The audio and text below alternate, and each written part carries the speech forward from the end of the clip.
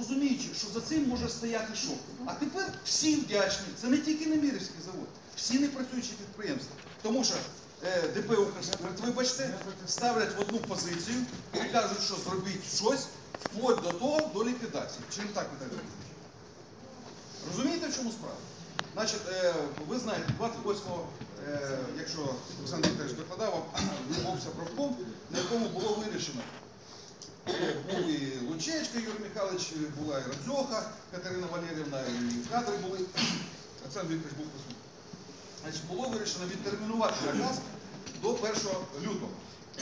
Значить, збирали керівників і так далі. Всім дали розпорядження щодо е, подання пропозицій на зменшення загальних витрат по всіх підприємствах, не тільки не працюючих, а й не працюючих. Більше е, вдарити по працюючих, тому що там є що зменшувати. На непрацюючих, ну, це в основному заробітна плата, самі розумієте. Для того, щоб, для того, щоб не чіпати людей. І що ви думаєте?